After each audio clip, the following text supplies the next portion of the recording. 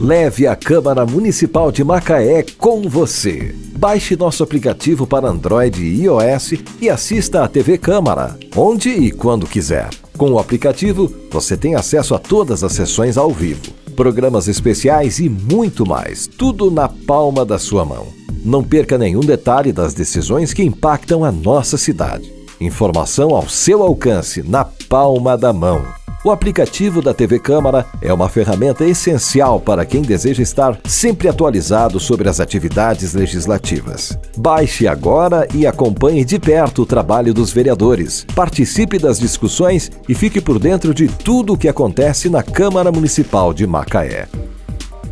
Descubra a história que se esconde por trás de cada parede. Visite a exposição A Casa e o Tempo no Centro Cultural de Macaé. Esta mostra oferece uma viagem pela arquitetura e memórias da nossa cidade, destacando momentos importantes desde a sua fundação até os dias atuais.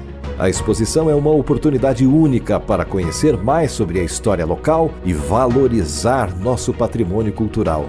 Uma viagem pela arquitetura e memórias da nossa cidade. A exposição A Casa e o Tempo está aberta ao público de segunda a sexta-feira, das 9 às 12 horas e das 13 às 17 horas. A entrada é franca e o conteúdo é acessível a todos, incluindo crianças e pessoas com deficiência.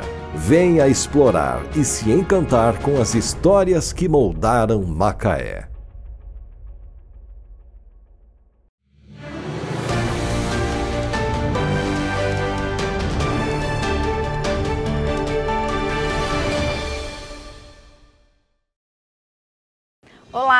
Seja bem-vindo ao programa Sessão do Dia da TV Câmara de Macaé. É muito bom ter a sua companhia. Aqui você fica sabendo de tudo que acontece no Legislativo. Vamos conferir os destaques? Parlamentares solicitam construção de creche em tempo integral no Lagomar. Então, aprovamos uma indicação, eu e meu amigo vereador Amaro, mais votado do bairro Lagomar, né, justamente demanda que veio ao nosso gabinete das mães e dos responsáveis, né, para que a gente tenha uma creche de tempo integral. Né? Aí a gente vai trabalhar, a gente se reelegeu, trabalhar para convencer o governo a executá-la lá. Vereadores aprovam legislação voltada à igualdade racial. É, Macaé ele se lançou na frente, né, porque é um pacto global da ONU sobre políticas públicas de igualdade racial, políticas contra o racismo, né? Então isso é para capacitar todos os servidores públicos o letramento, né, num curso para a gente não ter nenhum problema de racismo, tudo contra o racismo, né? Então o município de Macaé, no estado do Rio de Janeiro, é o único município onde tem uma Secretaria de Igualdade Racial que está lutando contra o racismo. Seria basicamente isso, é um pacto global é, pela ONU né, das cidades contra o racismo. O vereador enfatiza a revitalização da Praça da Barra. E dizer, senhor presidente, da nossa satisfação, ali a gente tem uma indicação 193 de 2023 da revitalização da Praça Milton Madureira ali, antiga Praça da Malha, né? Hoje toda revitalizada, a população cobrou do nosso mandato, não só o nosso mandato, como o mandato de outros vereadores, e o prefeito teve ali, né, a sensibilidade de revitalizar, ali estava sendo um ponto de droga, morador de rua, e hoje foi entregue para a sociedade, né, um parquinho, um lazer, tudo ali para a nossa população ao redor ali da Barra de Macaé, da Malha. Então a gente fica muito feliz, agradecer ao prefeito por ter se sensibilizado e atendido as nossas preposições como sempre vem atendendo e que a partir aí, se Deus quiser, de 2025 a gente possa construir novos projetos juntos. Obrigado. Esses e outros assuntos você acompanha agora aqui na TV Câmara.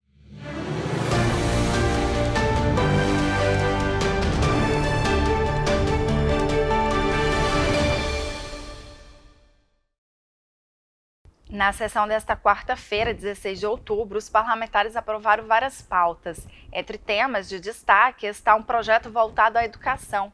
Os vereadores Luciano Diniz e Amaro Luiz solicitaram, por meio de uma indicação, a construção de uma creche em tempo integral no bairro Lagomar. Segundo os parlamentares, essa é uma demanda urgente das famílias da região e a construção da creche traria benefícios sociais. Então, aprovamos uma indicação, eu e meu amigo vereador Amaro, mais votado do bairro Lagomar, né, justamente demanda que veio ao nosso gabinete das mães e dos responsáveis, né, para que a gente tenha uma creche de tempo integral. Né? Aí a gente vai trabalhar, a gente se reelegeu, trabalhar para convencer o governo a executá-la lá. Nós fomos reeleitos, né? E podemos brigar por esta matéria. Matéria essa que já vem sendo cobrada há anos, né? Pelos moradores, né? Pelas mães principalmente, que necessitam de uma creche de tempo integral para os seus filhos, para que elas possam trabalhar. E o Luciano, né? Luciano é, atendendo essa demanda, fizemos junto, né? Essa indicação e eu tenho certeza que o prefeito Albert vai olhar com carinho e já está, né, Luciano, vai adiantado, né, vai catar. os trâmites internos na educação, na obra e vai agraciar os moradores do Lago Mar com esse benefício, né? Isso aí. E assim nós vamos rompendo em fé e atendendo a nossa população macaense. Durante a sessão, também foi aprovado o projeto de lei de autoria do vereador Edson Chiquini, que visa realizar capacitação em letramento racial e políticas afirmativas de promoção da igualdade racial para os servidores do município de Macaé. De acordo com o texto, o intuito é promover o conhecimento sobre a história e a cultura afro-brasileira, bem como prevenir o racismo no âmbito da gestão pública.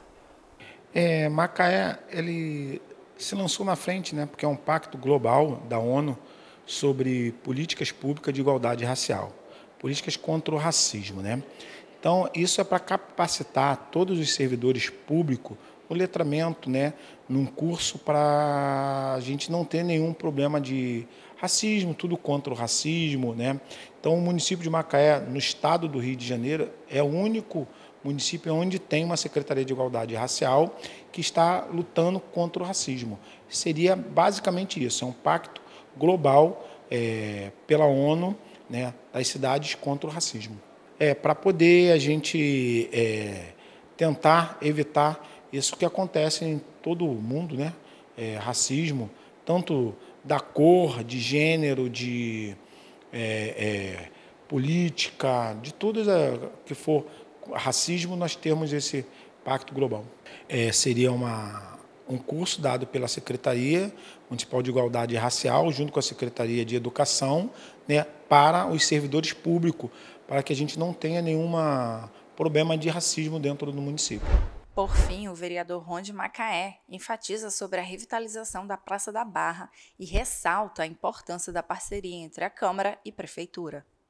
E dizer, senhor presidente, da nossa satisfação, ali a gente tem uma indicação 193 de 2023 da revitalização da Praça Milton Madureira, ali, antiga Praça da Malha, né? hoje toda revitalizada, a população cobrou do nosso mandato, não só o nosso mandato, como o mandato de outros vereadores, e o prefeito teve ali né, a sensibilidade de revitalizar, ali estava sendo um ponto de droga, morador de rua, e hoje foi entregue para a sociedade, né, um parquinho, um lazer, tudo ali para a nossa população ao redor ali da Barra de Macaé, da Malha. Então a gente fica muito feliz, agradecer ao prefeito por ter sensibilizado e atendido as nossas preposições como sempre vem atendendo e que a partir, se Deus quiser, de 2025 a gente possa construir novos projetos juntos. Obrigado. Aqui na TV Câmara mantemos você informado dos acontecimentos da nossa cidade. Para mais informações, acesse as nossas redes sociais. E até a próxima!